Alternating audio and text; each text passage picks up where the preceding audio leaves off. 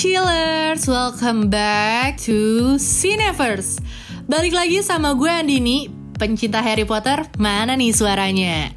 Kali ini film yang akan direview adalah prequel film Fantastic Beasts loh 25 tahun yang lalu, seluruh dunia terpikat oleh seorang penyihir muda bernama Harry Potter Karakter ciptaan dari J.K. Rowling ini muncul dalam novel berseri sebanyak 7 edisi, yang ramai dibicara orang sampai akhirnya bukunya dijadikan film.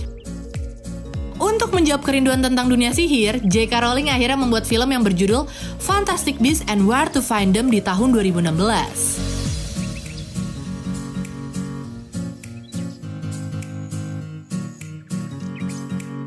Secara singkat, film ini menceritakan kisah awal mula Dumbledore yang diam-diam mengumpulkan sebuah tim rahasia yang terdiri dari Newt, Theus, Banti, Yusuf Kama, Profesor Higgs, dan juga seorang magel yang ikut bertualang dengan Neo.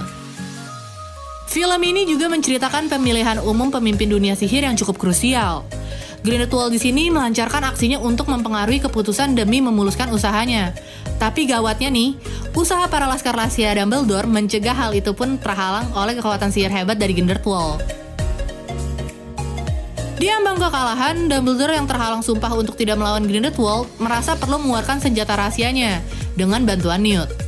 Albus Dumbledore di sini menjadi fokus utama di film ini, mulai menjelaskan rahasia keluarga dan masa lalunya mulai terungkap.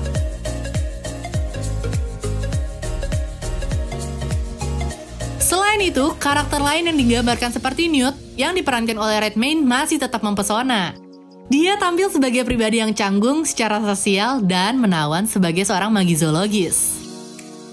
Selain itu, ada penampilan dari Jessica Williams sebagai Eulia Hicks yang juga cukup menonjol nih sebagai seorang penyihir yang kuat dan cerdik dan dipasangkan dengan seorang magel yang bekerja sebagai pembuat roti.